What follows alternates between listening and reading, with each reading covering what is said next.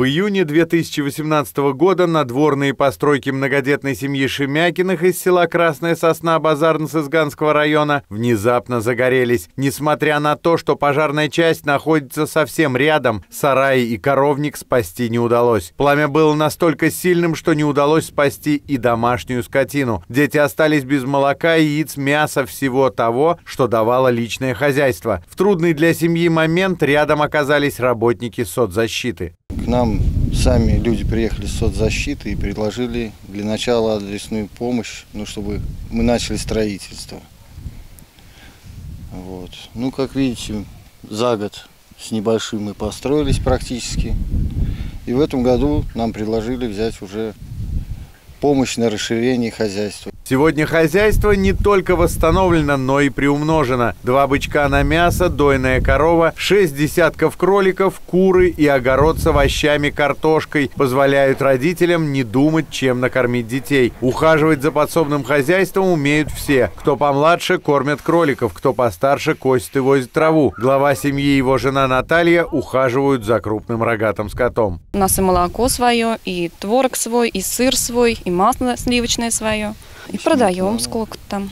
Живут небогато, но достойно и, главное, своим трудом. В доме Шемякиных каждый знает старинную русскую поговорку «Как потопаешь, так и полопаешь». Поэтому от работы никто не отлынивает. Глава семейства самостоятельно спроектировал и построил теплые непродуваемые сараи и коровник. Мы им предложили попробовать программу социального контракта.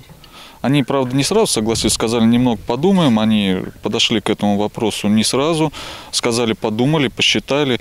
И уже пришли к нам с э, готовым предложением. Мы им предлагали несколько там выбрав вариантов, направлений, чтобы они сами подумали. Они пришли, сказали, что у них была уничтожена и корова, и то они хотят э, корову восстановить, но чтобы дальше развиваться уже и приобрести телят, им еще нужно восстановить надворные постройки, дальше расширить. Подобная семья далеко не единственная в регионе. С начала этого года заключено 619 социальных контрактов в рамках нацпроекта «Демография», что на 158 больше, чем в прошлом. Из уже имеющихся соцконтрактов 560 направлены на развитие личного подсобного хозяйства, остальные на развитие индивидуальной предпринимательской деятельности и образовательные услуги. Помощь от соцконтракта для каждой семьи индивидуальна. Это способ заработка, предлагаемый государством, позволяющий семьям с шатким финансовым положением встать на ноги. Павел Половов, Юрий Ломатов, Новости Улправды ТВ.